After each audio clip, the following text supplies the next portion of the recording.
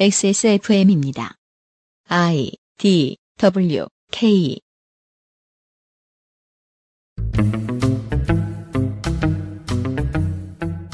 그것은 알기 싫다 특별 기획. 2019 국정감사 기록실. 정무위원회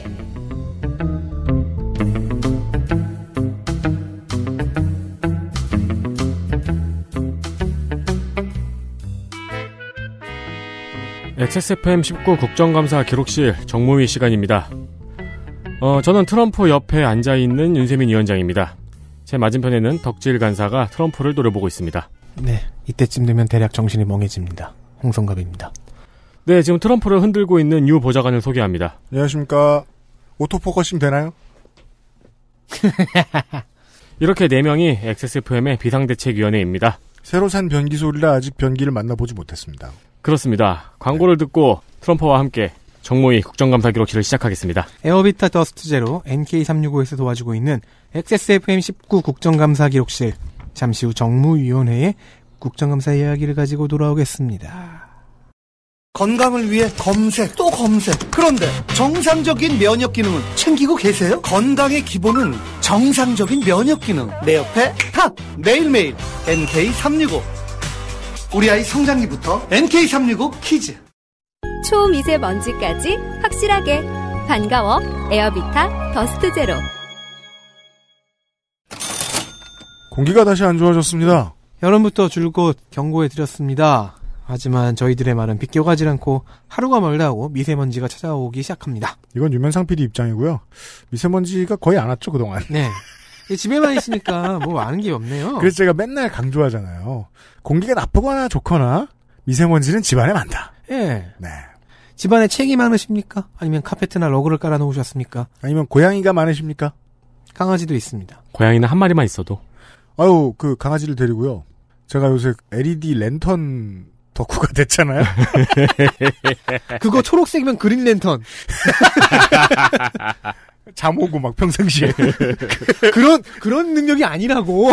눈이 편안해서 의-. 나왜 그린 랜턴만 생각하면 영화보다 졸던 생각 만 나지? 그, 아, 그 영화는 졸만했습니다만. 그래서 그 랜턴을 샀더니 진짜 조그만 랜턴인데 음. 차풀그차 앞창보다 밝은 거예요. 음, 네. 그래서 그걸 들고 깜깜한 곳에 개하고 같이 돌아다니다 왔어요. 강아지도 까맣잖아요. 근데 비추면 되게 훤해요. 그리고 되게 신나게 놀다 왔는데 진짜 그 어두운 곳에 갔다 왔으니까 온 동네 흙을 다 뒤집어 쓴 거예요.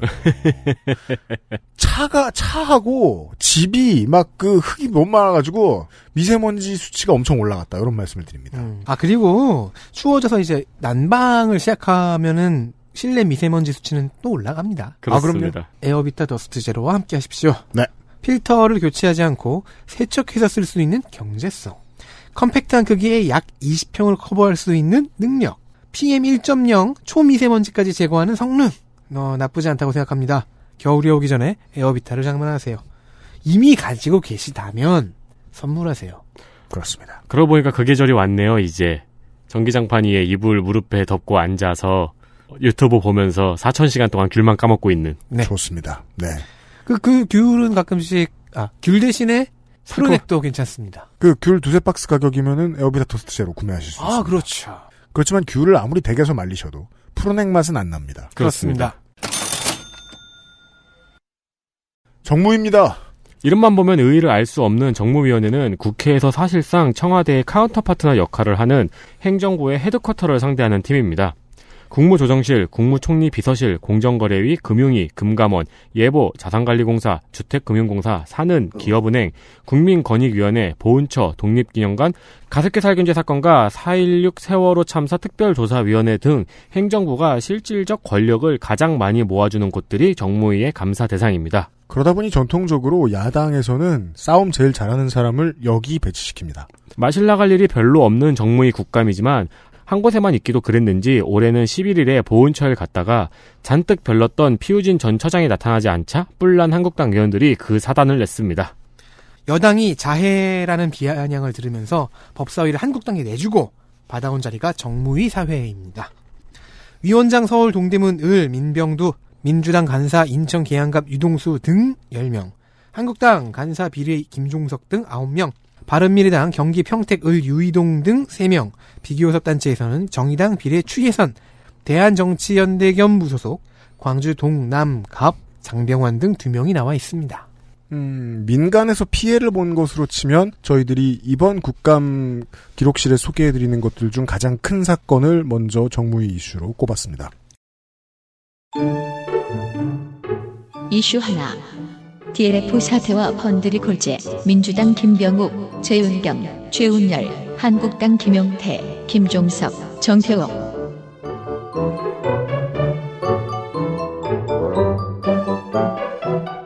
네, 그렇습니다. 유보자 간의 상임위 배분 순서는 뒤로 갈수록 조국 국감의 비율이 높은 순서입니다. 그래서 하기 싫어서 뒤로 뺀 측면도 있는데 이제 그날이 왔네요. 다행이에요. 왜냐면은 이게 앞에 있었으면 진짜 조국 전 장관 얘기밖에 없었거든요. 맞아요. 예, 정무위쯤 오면은 그야말로 조국 전 장관의 홍수 사태가 됩니다. 그리고 또 하나 정무위의 이슈를 모두 빨아먹은 이슈가 있었습니다. 바로 제2의 키코 사태라 불리는 DLF 사태입니다. 키코는 기업들이 피해자였죠. DLF는 일반 시민들이 피해자가 된 겁니다. 그리고 또 공통점도 있는데요. 키코 사태는 그 멀리서 보고 있으면 K로 시작하니까 무슨 한국적인 뭐인 줄 아는데 낙인 낙아웃이에요. knock-in이라는 옵션과 knock-out이라는 옵션의 문제인데 키코 사태의 문제는 이 키코 옵션이라는 게 일정한 수준 어느 정도 수준에 다르기 다다르기 전까지는 손해를 보지 않고 큰 이익도 볼 리 없는 안정적인 상품이라고 소개를 했는데 환율이 조금만 요동치면 모두가 망할 상품이었던 거란 말이죠. 그렇다 보니까 안정적인 상품이라고 소개했던 펀드 매니저들이 사실상 사기를 쳤던 거예요. 사기성이 너무 짙었고 아래로 내려가든 위로 올라가든 급등 양면에 다 망하는 옵션이었어요. 근데 이걸 제대로 고지를 안 했는데 주로 중소기업을 타겟팅한 상품이었다는 거죠. 그렇습니다. 사장님들은 그냥 당하기 좋았. 아, 공통점이 이거고 차이점이 있다면 이제는 중소기업도 아니라 개인에까지 옮겨붙었습니다.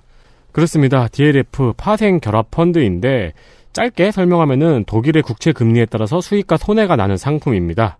우리은행과 KB 하나은행 등에서 8천억 원 규모로 팔렸습니다. 8천억 원.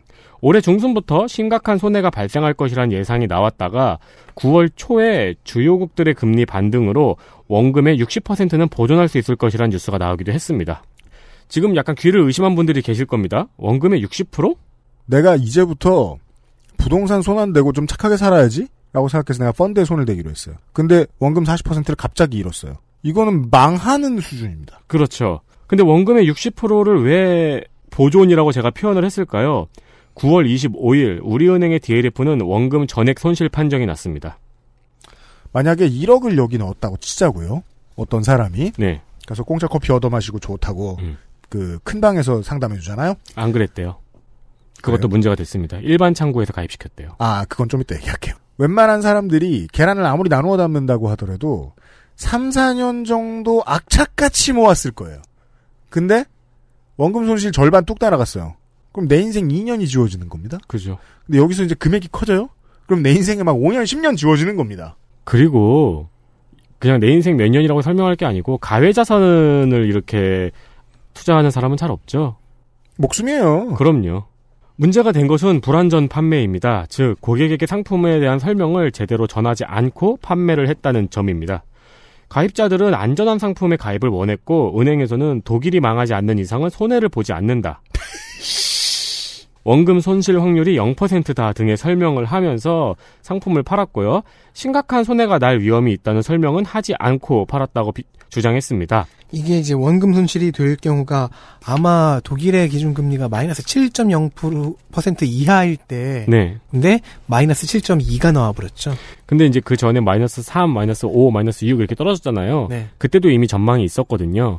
괜찮다고 했겠죠. 네, 괜찮다고 하면서 계속 아직 팔았어요. 마이너스 7은 안 됐습니다. 음. 그러나 근데 만약에 오- 마이너스 5% 이렇게 나왔을 때 여러 명의 가입자들을 탈퇴시켜준 펀드 매니저가 나타났다. 그 친구는 직장을 잃는 수준이 아니라 회사에 고소당했을걸요? 그럼요. 현재 우리은행과 하나은행이 판매한 그 투자자 중 절반 정도가 60대 이상의 고령자인 것으로 밝혀졌습니다.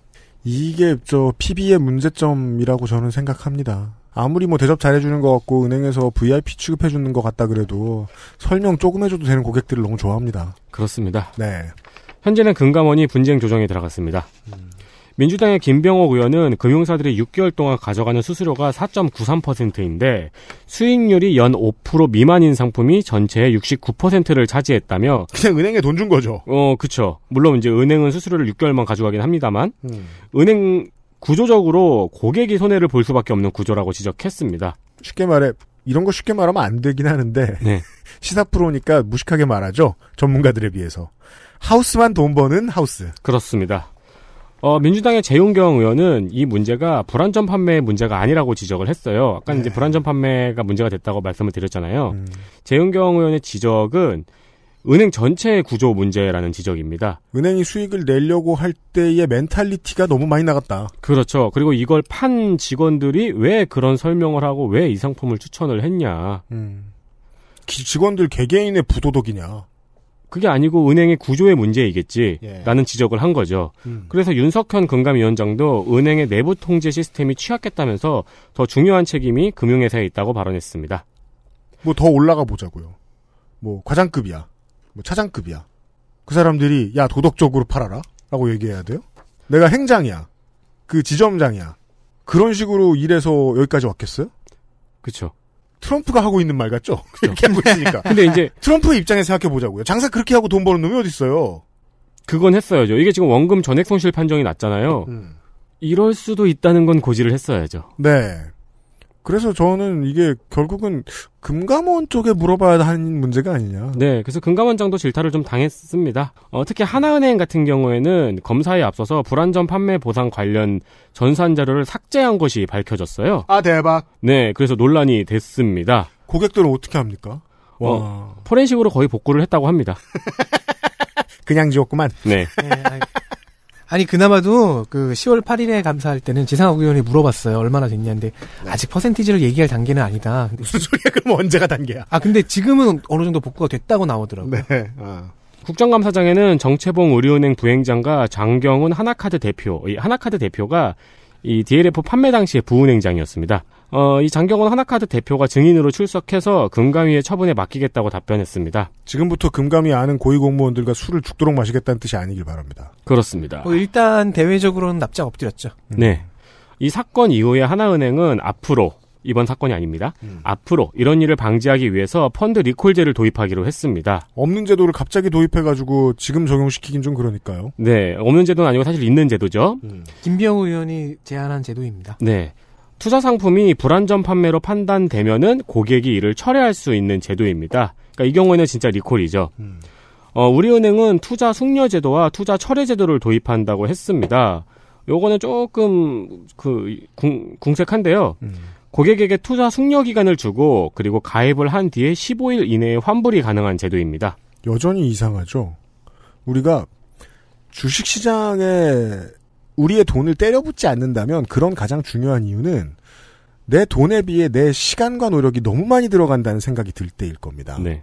여기서 말하는 안정성이란 내가 스트레스 받고 품을 팔지 않아도 조금 더 편한 내 돈 관리를 이야기하는데 음. 근데 펀드를 산 입장에서 주식보다 못하게 돼요. 주식을 내가 오늘 팔았는데 못 팔게? 그런 건 없잖아요. 이에 김병호 의원은 하나은행과 우리은행이 펀드 리콜제를 도입하겠다는 것은 고무적인 일이라면서 은행 전체를 확대해야 한다고 금융위원장에게 주문했는데요. 어, 그리고 관련 법안의 입법을 예고했습니다. 그러나 금융위원장은 은행들이 자발적으로 하는 것이 좋다고 답변했습니다. 강요할 수 없다며. 네. 무슨 무슨 멘탈인지 모르겠습니다. 네. 이거야말로 지금 다음번 이야기야말로 제가 매해 듣고 이야기하던 기억이 납니다. 네. 네. 그렇습니다. 글로벌 IT 기업에 대한 그 망사용료 이슈 매년마다 있어 왔습니다. 네. 이슈 둘. 망사용료 차별과 혼잡 통행료. 민주당 유동수.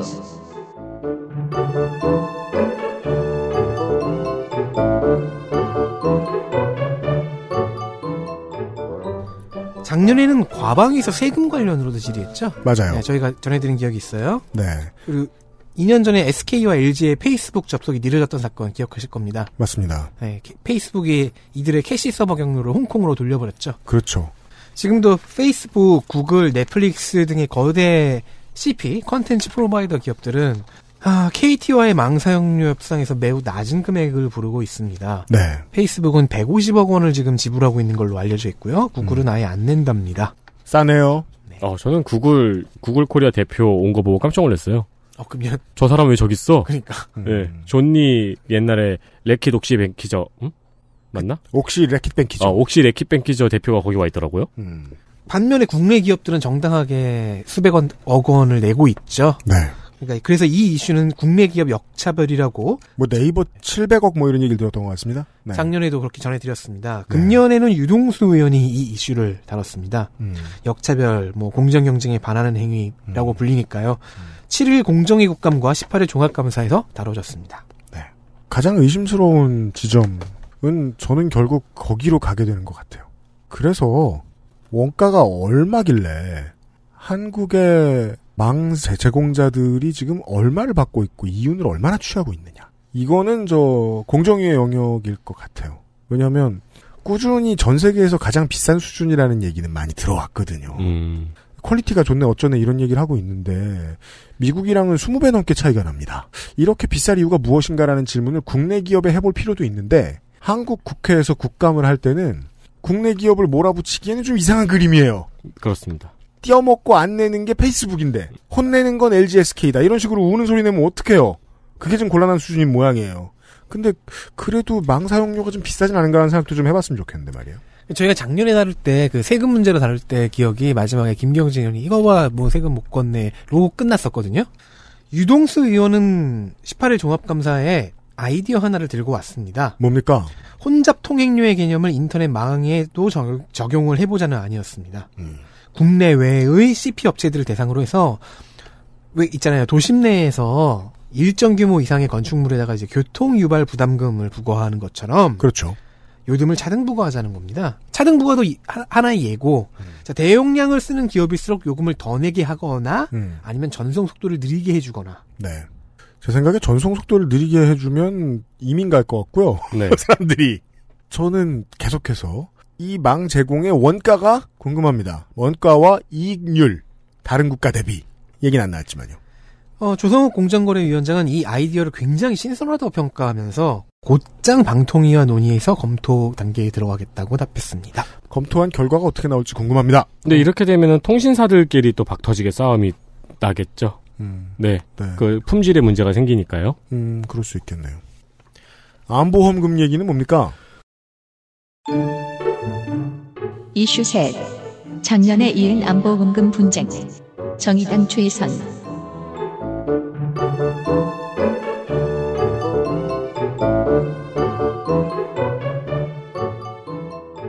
네, 역시 작년 국정감사에서 말씀드렸던 이야기의 연장입니다. 작년 제가 국정감사 방송에서 암의 직접적인 치료 목적과 암 치료의 직접적인 목적의 차이. 그렇죠. 요거 말씀드린 적 있죠. 기억나십니까? 물은 적 있었죠. 네. 직접적인 치료 목적, 직접적인 목적, 네. 아, 치료의 직접적인 목적. 네. 아, 이 차이로 보험금을 못 받는 경우에 대해서 정의당 추월선 의원실이 지적을 했던 바 있습니다. 올해 다시 쳤나 보군요, 이걸. 네, 추혜선 의원실은 이걸 끝까지 팠습니다.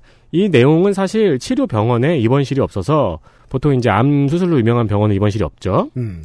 근처 요양병원에 입원하는 사례인데요. 이 요양병원의 입원비가 지급되지 않는 문제였습니다. 네. 요양병원이라는 이유로. 그렇죠. 그러니까 요양병원에 입원한 건 요양병원에서 암을 직접 치료하기 위해서가 아니잖아! 음. 라는 이유로. 음. 작년에 문제가 되었고 보험사에 시정이 들어갔습니다. 음. 그리고 아직도 해결, 해결되지 않고 있는 몇몇 사례는 금감원이 분쟁 조정을 받고 있습니다. 이게 회사마다 다르겠죠. 추혜선 의원은 지금까지 발생한 피해자들에 대해서 금감원의 분쟁조정위원회의 판단이 일관되지 않았다는 점을 지적했습니다. 음. 인한 합병증에 대한 수술 치료의 경우에는 보험금을 지급하는 분쟁 조정안을 낸 바 있고요. 입원 치료는 역시 인한 합병증으로 음. 입원 치료를 받는 경우에는 보험금을 지급하지 않는 분쟁 조정안을 내놓아서 이 문제가 해결이 되지 않고 있다고 말한 것입니다. 이게 이랬다 저랬다 할 때는요.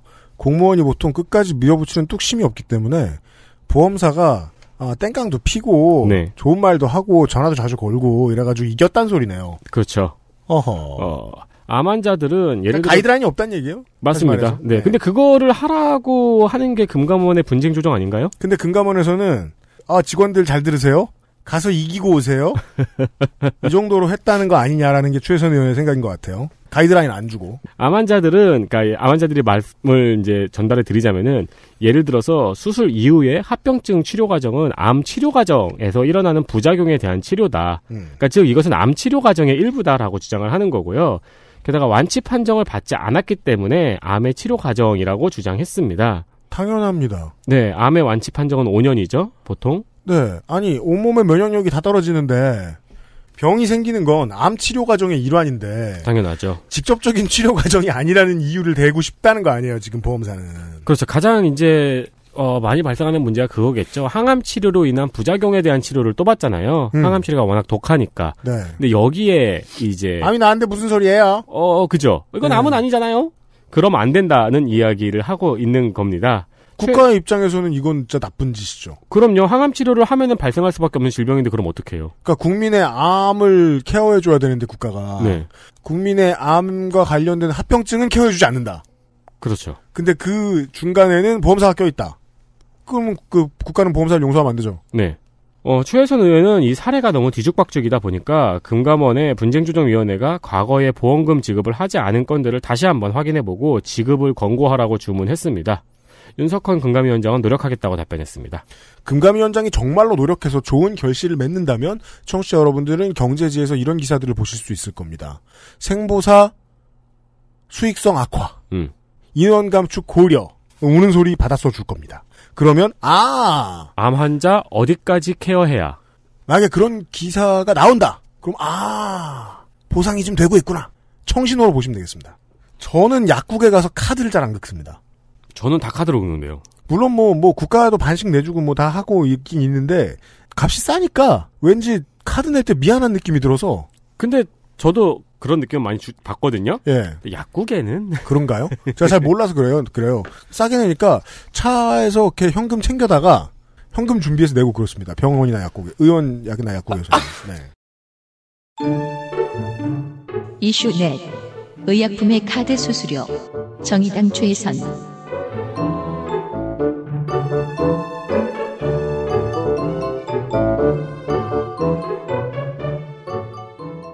네, 암치료와 보험금을 파고 파고 또 파던 추혜선 의원실은 결국 의약품의 카드 수수료까지 왔습니다. 아, 공부 많이 했네요. 가까운 사람이 암 환자인 분은 들어봤을 약 이름이 있습니다. 타그리소, 렌비마 같은 약들입니다. 항암 치료 중인 암 환자는 필히 매일 복용해야 하죠. 매일. 그리고 이 약들은 비쌉니다. 타그리소는 한 알에 22만 원이 넘는데요. 추혜선 의원실의 계산으로는 한 달에 환자 본인이 부담하게 되는 금액이 1274만 원꼴이라고 합니다. 1274만 원이. 네. 자, 이렇게 비싼 약을 팔면은 약국은 신이 날까요? 그 반대입니다. 이 약들을 카드로 결제하면은 카드 수수료만 24만 원이 넘게 나옵니다. 카드 수수료가 24만 원이면, 그 파는 곳이 내는 수익이 얼마인지를 알아봐야 알 수 있겠죠? 약국의 수가 조제료, 즉 마진은 16,000원 정도에 불과합니다. 22만 4천 원을 손해 본다는 겁니까? 사실상 그렇죠. 팔면 안 되지. 근데 어쩔 팔아야지 이거 어떡해요. 어떻게 해요, 이걸? 이거 약국 입장에서 엄청난 손해인데 환자는 비싼 돈을 내야 돼요. 약국은 비싼 수수료를 내야 돼요. 모두 고통스러운 결과입니다. 이건 이 이렇게 되는 이유는 약국의 세금과 카드 수수료율이 매출을 기준으로 매겨지기 때문입니다. 좀 더 들어볼까요? 그래서 약국은 되도록 현금 계산을 해달라고 해요. 이 의약품의 특징 때문에 그런데 그러면 이제 환자는 어떡합니까? 천만 원이 넘는 돈을 현금으로 만들어 와야 됩니다. 아 그러면 갑부가 롤렉스 사듯이 약을 사야 된다는 거네요. 그렇죠. 근데 이게요 비단 항암제만이 아니라 좀 비싼 약의 경우엔 대부분 이런 상황입니다. 음. 마진이 그- 그 약국 입장에서만 얘기해 보면 마진이 굉장히 적거나 오히려 적자인 경우가 있어요. 벽은 카드사네요. 희귀 난치성 질환, 알러지, 특수분유 같은 경우에 이 이슈가 유효하다고 합니다. 그렇군요. 그리고 이거는 보건복지부와 금융위원회가 하나로 엮이는 이슈죠. 매우 그렇죠. 그래서 추희선 의원은 이 질의를 은성수 금융위원장에게 했습니다. 음. 은성수 위원장은 빠져나가려고 했나 봐요. 관련 법안이 정무위에 계류 중인 걸로 안다. 뭐 이런 식으로 대답을 했어요. 아이씨, 제가 이제는 정말 못된 사람이 된 것 같아요. 뭐만 마음에 안 들면 이 기재부라인, 이 기재부라인. 네, 아, 이러면 안, 될 건, 안 되는데. 네. 다 이유가 있을 텐데. 음. 네. 그래서 추혜선 의원은 곧바로 다른 핵심을 짚었습니다. 여신 전문 금융 감독법.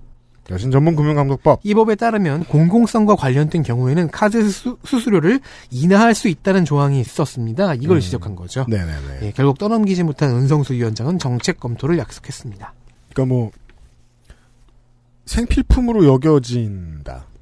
그것도 되게 엄청나게 저거 해요. 뭐냐 그 엄격해요 기준이. 스마트폰에 붙는 뭐 세금이나 카드 수수료를 가지고 네. 이거 생필품이니까 깎아준다고 안 합니다. 생필품이 되려면 되게 생필품이어야 돼요. 그렇죠. 뭐 쌀이 되든 배추가 되든 뭐 생리대가 되든 음. 엄청나게 생필품이어야 돼요. 근데 그런 것에 그 항암 치료제를 못 넣을 이유는 없지 않나. 그렇죠. 뭐, 뭐 약의 종류에 따라 다르겠지만, 음. 네, 필수적으로 복용해야 되는 약이라면은, 그럼 이제 직접적인 치료 목적과 치료의 직접적인 목적 얘기를 하겠죠. 아하이. 그래서 이제 그거는 작년에 문제 제기를 해가지고 많이 해결이 된 것 같은데, 야, 진짜, 그럼에도 불구하고 네. 산지한 문제가 이렇게, 문제가 이렇게 많네요. 네. 그러니까 그런 말을 하는 카드사 회장님이나 뭐 생보사 회장님이 있으면 치료를 위해 직접적으로 때리든지 음. 직접적인 치료를 위해 때리든지 때리고 싶겠네요. 또 다른 제, 적- 네. 직접적인 구타 목적과 구타를 위한 직접적인 목적 둘 중에 하나를 해야 되겠다. 그럼 그 둘 중에 하나만 보험이 되는 아니, 둘 중 하나만 잡아가는 거지. 주장을 잘 해봐야 되겠습니다. 법정에 끌려가서. 서민형 안심전환 대출이라는 것이 있죠. 이슈 다섯 서민형 안심전환 대출 민주당 고용진 한국당 김선동 정의당 최선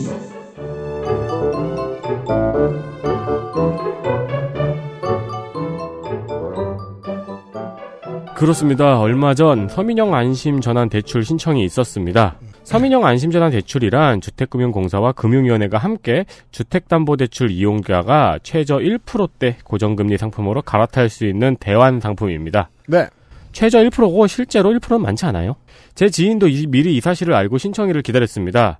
그리고 딱 신청일에 나이키 홈페이지 접속하듯 홈페이지에 접속을 했는데 어마어마한 대기열을 확인했습니다. 아, BTS 콘서트 티켓이군요. 음, 네, 뭐 몇십만으로 뜨더라고요, 대기열이. 어, 뭐 이거 되, 되팔 수 있는 것도 아닌데. 되파는 거죠, 내 빚을. 아 그건 그렇죠. 네.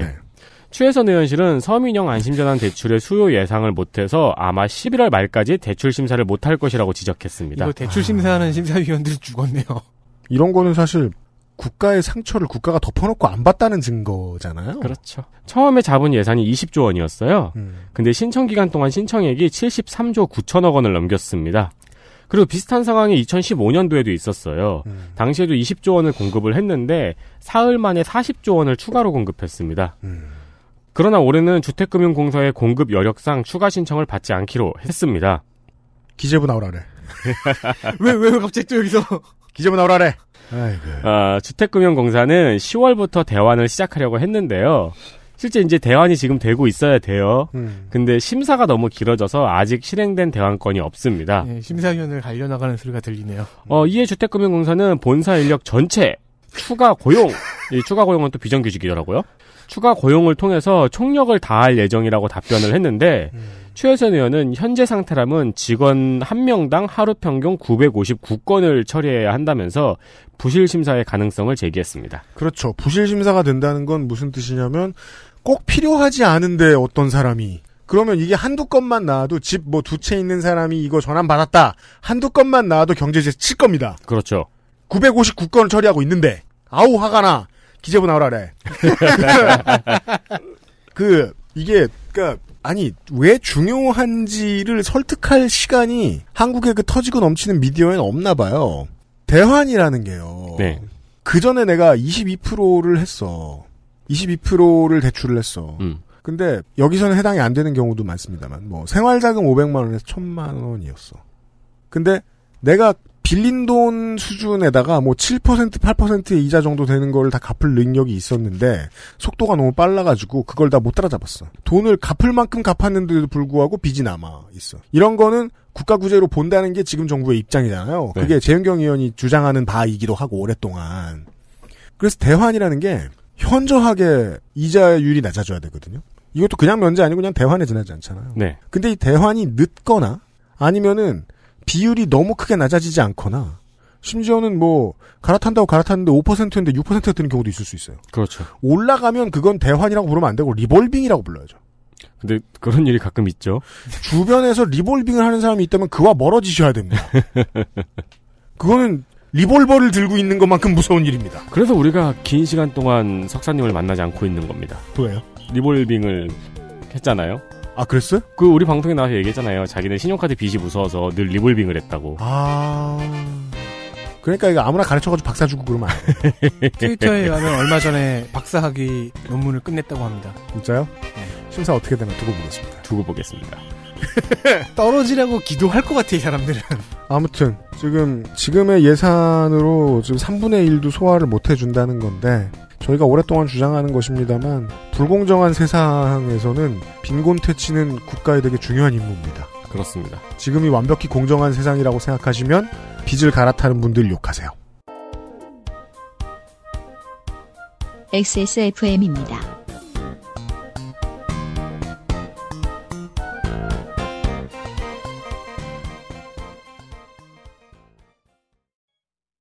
초미세먼지까지 확실하게 반가워 에어비타 더스트 제로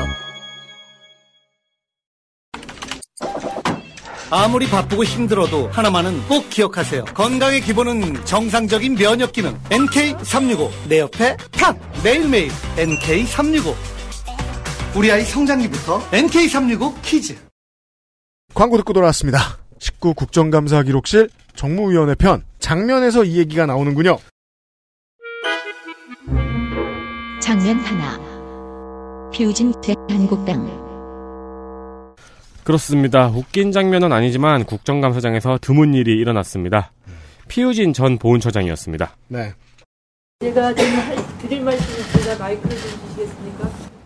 저는 오늘 이 자리에서 국정감사의 증인으로서 선서를 거부하며 일체의 증언 역시 거부합니다.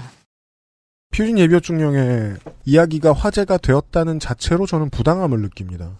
처장이던 시절에 한국당이 이 사람을 길들이려는 목적으로 고발을 자행했었어요. 그리고 그때 이미 퓨진 전 처장이 좀 뻣뻣하게 군 것 같아요. 군인처럼 그때 더 화를 돋군 것 같아요 한국당 의원들의. 그래가지고 이번에 망신을 제대로 줘보자 하면서 두 번을 부르고 이랬던 거예요. 이미 법정에 걸려있는 문제 네. 를 가지고 따라서 이게 참 그 군인의 기백 같은 게 나왔는데 아무튼 지금이 중요한 게 아니라 그 전에 한국당이 퇴임을 앞두고 있는 처장을 그 정치적으로 압박하려는 목적으로 괴롭혔다는 게 더 큰 기사가 됐어야 되는 거 아니냐. 선서 안 한 건 대수가 아니에요. 그렇죠. 그러니까 내용이 이겁니다. 그 산하기관장 사퇴 종용 의혹에 대해서도 한국당이 고발을 했고요. 음. 손혜원 의원 부친에 대한 건도 이제 고발을 했는데 음. 손혜원 의원 부친에 대한 건은 불기소 처분이 되었지만 한국당의 항고로 수사를 계속하고 있고요. 산하기관장 사퇴 종용 의혹도 현재 수사를 하고 있습니다. 네.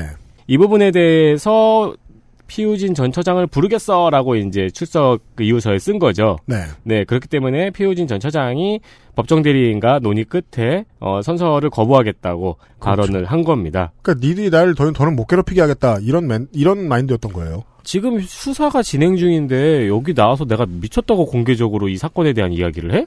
그 얘기죠. 음. 해당 내용을 밝히는 동안 한국당에서는 마이크 끄세요 같은 고성이 들렸고 네. 이어서 의사진행 발언을 통한 토론이 시작됐습니다. 음. 김진태 의원은 검찰에서 불기소 처분을 받아놓고 여기서 이야기하다가 잘못 얘기해서 고발되는 것이 걱정돼서 못하겠다는 것은 묵과할 수 없는 사태라고 발언을 했습니다. 음. 이 가장 뒤에 묵과할 수 없는 사태에만 빼면 다 맞는 이야기죠. 검찰에서 불기소 처분 받았는데 여기 와가지고 왜 잘못 이야기를 괜히 해 하냐고요. 그렇죠. 그럴, 그럴 기회를 안 만드는 게 낫죠. 그러니까 시비 걸리라고 불린 거 부른 거예요. 그렇죠. 네. 기소당한 당사자가 민주당의 이하경 의원은 적법하게 증언을 거부했는데 우리가 증언을 강요할 수 있는가 하는 생각이 든다고 했고 민병두 위원장은 나쁜 선례로 남을 것 같아 심각하게 받아들인다고 발언했습니다. 그러니까 이 발언에 대해서 이상하게 해석을 하려고 하던데 민병두 위원장은 위원장이 해야 할 일, 즉 의회주의자로서의 네. 이야기를 한 거예요. 공무원의 이야기. 음. 아이고 이런 일은 처음 있는데 어떡하죠? 이거예요. 그렇죠, 그렇죠. 여기서 민병두 위원장이 오 카리스마 쩔 이러면은 그 위원장 사회석에서 그런 말 할 수는 없잖아요. 그죠. 아 너무 멋있어요. 사인해 주세요. 이러면 안 되잖아. 근데 이번 국정감사의 특징이기도 합니다. 증인 신청을 막 해요. 너무 막 해서 합의를 못 네. 봤어요. 그래서 몇몇 위원회 상임위원회에서 증인 0명 불려놓고 국정감사 한일 많습니다. 그리고 네. 또 이거는 여야 공이 별로 할 말이 없는 포인트인 게 지난 여름 내내 일을 안 했죠. 그러면서 국감 준비를 하면서 그 전에 관계자도 만나고 하는데 이번에는 사전 준비를 하면서 교감이 현격하게 적었던 국감으로 알고 있습니다.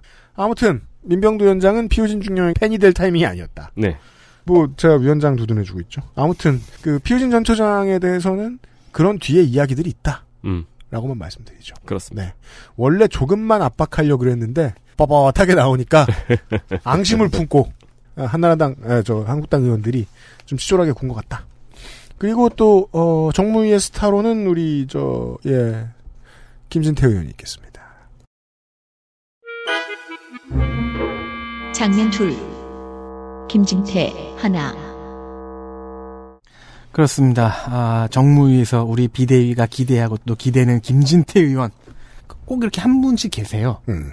금년에 정부 대상 공격수로 맹활약하는 중간에도 한두 건씩은 만들어 주셨습니다. 정말 네. 감사합니다. 김진태 의원님. 음.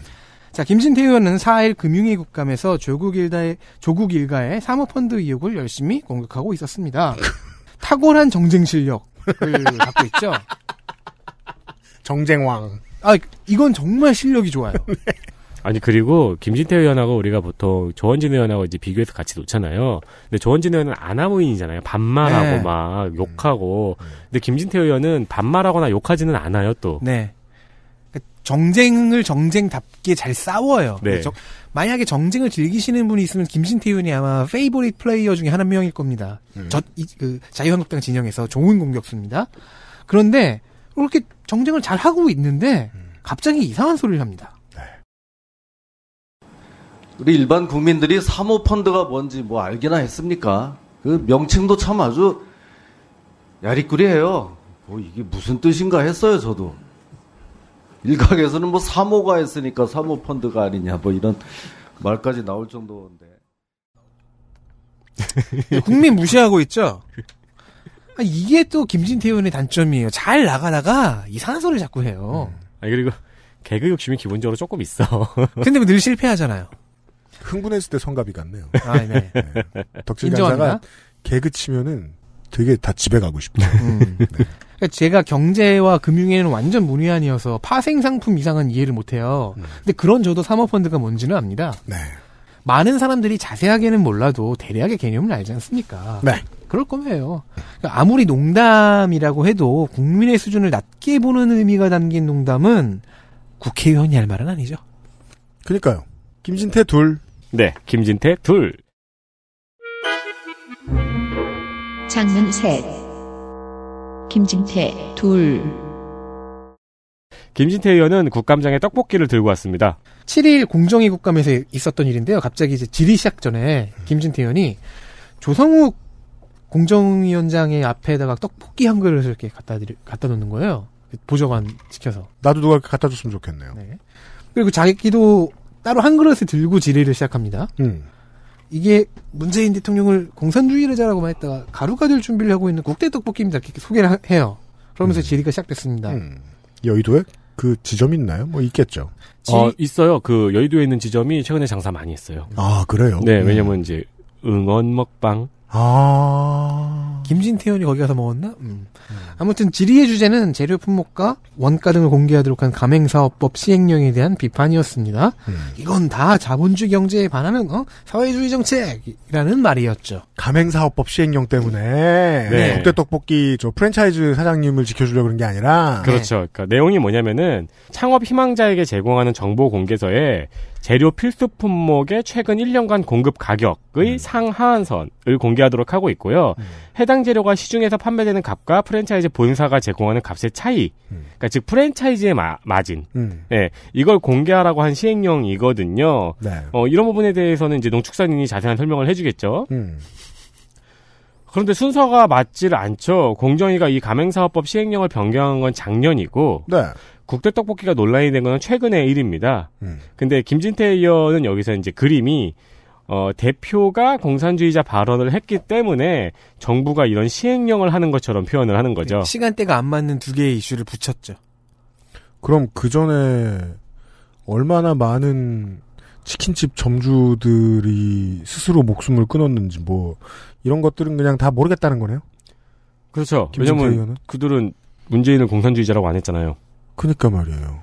어, 사실 지적 자체가 황당한 지적은 아닙니다. 동의할 수는 없지만 이런 시장 경제를 망가뜨리려고 한다는 지적은 자유한국당에서 맨날 하는 거니까요. 어, 그럼요. 네, 네, 그건 이- 당론이에요. 이 시행령 보고 우리도 자유한국당이 저런 말 하겠네라고 생각을 했고요. 근데 국대 떡볶이가 아닌 다른 프랜차이즈 음식을 들고 왔으면 설득력이 좀 더 있지 않았을까 싶습니다. 그니까 말이에요. 네. 음. 김진태 의원도 우리공화당 시위에 맨날 참석하면서 우리공화당으로 안 가는 이유가 있을 거 아니에요? 그렇죠. 굳이 이렇게 국대 떡볶이로 이렇게 범위를 좁힐 필요가 있었을까요? 음, 그러게 말이에요. 우리 공화당 좋은 일을 해줬네요. 네. 그러면 이제 질의가 끝나고 떡볶이가 남아있죠. 예, 위- 그 조성욱 위원장 앞에 떡볶이가 아직 손도 안 댄 게 남아 있고 아니 뭐 떡만 냉동 상태를 유지해서 다음번에 쓸 수 있도록 갖다 놓진 않았을 근데- 거 아니에요. 그 비주얼을 위해서 완성된 걸 갖다 놨겠죠. 아니 근데 그게 그리고 나쁜 게 네. 그냥 이게 그 국정감사장에 앉아 있으면 책상 앞에 떡볶이를 갖다 놓잖아요. 네. 그럼 조성욱 위원장이 이거를 놓자마자 이렇게 먹진 않을 거 아니에요. 그러니까요. 이걸 앞에 놓고 이제 질문에 답변을 해야 되잖아요. 아, 그러면 그, 그, L글루타민산 나트륨의 냄새를 막 맡으면서. 근데 일부러 그러라고 그랬는지 랩을 벗겨놨어요. 그러니까 어쨌든 조성욱 위원장 앞에 놓인 건 뭐 어떻게 한다 쳐요. 그럼 이제 김진태 의원이 들고 있던 다른 한 그릇이 더 있지 않습니까? 네. 네, 이거는 복선이 있었습니다. 음. 시작할 때 조성욱 위원장에게 이렇게 친절하게 한 그릇 밀어, 밀어준 음. 게 복선이었어요. 의원실 직원으로 추정되는 사람에게 주면서 빨리 가서 먹어. 오래되면 불거든요. 그래서 빨리 먹으라고 하는 거죠. 벌써 10분 아, 넘게 있었을 거 아니 아니야. 냄새 나잖아 지금 그런 것도 국감장에. 있지. 빨리 갖고 가. 냄새 안 나게. 내 앞에서 먹지 마라. 뭐 이런 것이었을까요? 성일종 의원 얘기는 뭡니까? 장면 넷. 제가 못 만날 건 없지 않습니까?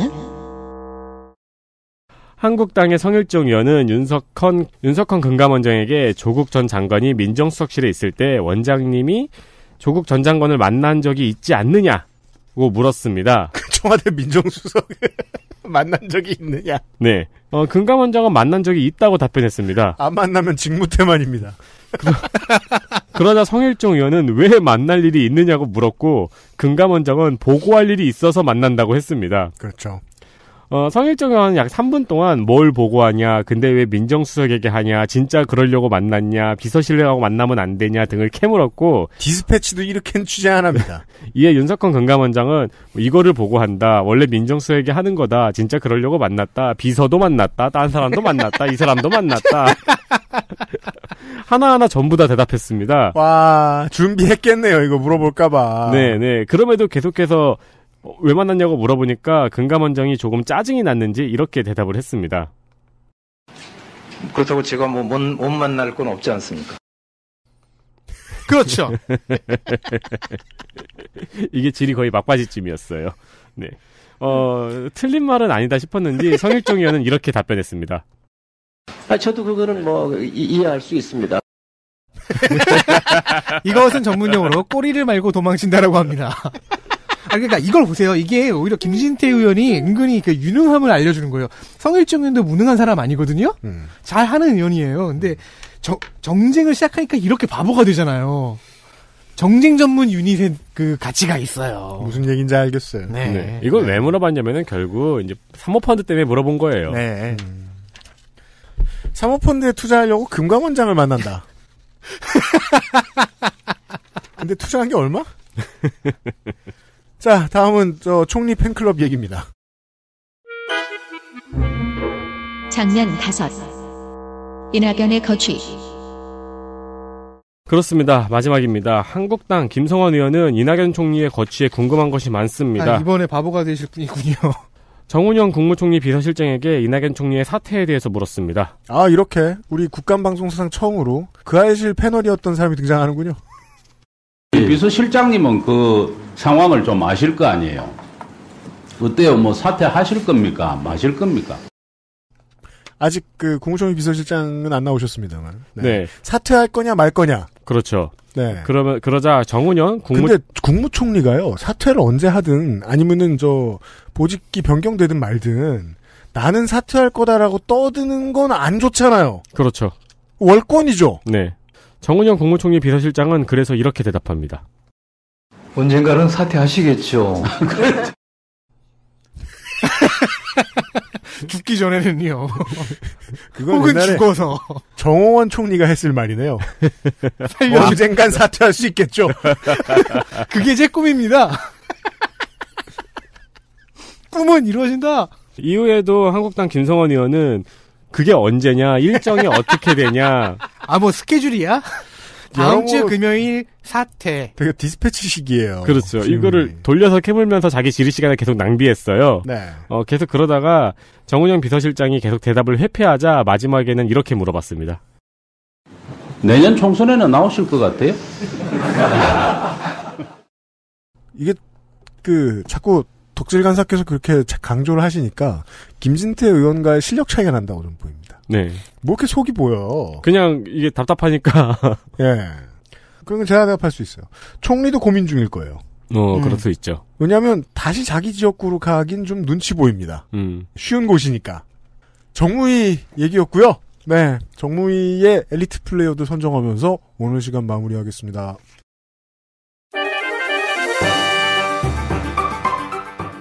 정무위원회 엘리트 플레이어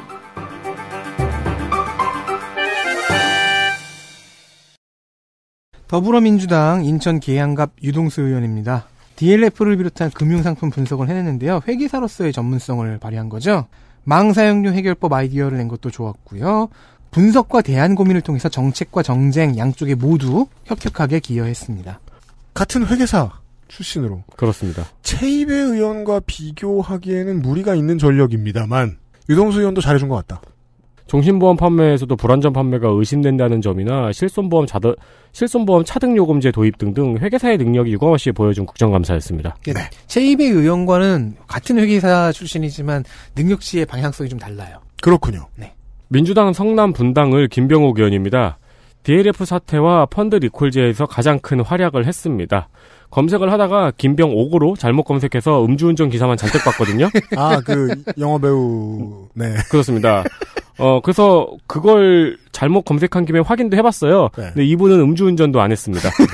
자, 헌법에 책임 총리제가 있는데 그걸 현실화시킬 방안으로 아 총리에게 강요 제청권과 해임 건의권이 있다. 음. 그걸 되새긴 질의 음. 뭐 은행들이 곧바로 받아들인 뭐 원지가 있긴 했지만 그 네. 은행들은 펀드 리콜제를 제시한 것 이 둘만으로도 사실 큰 공로입니다. 그만큼 과감한 발상에서 나오는 대안 제시를 잘해요. 90년대 2000년대만 해도요.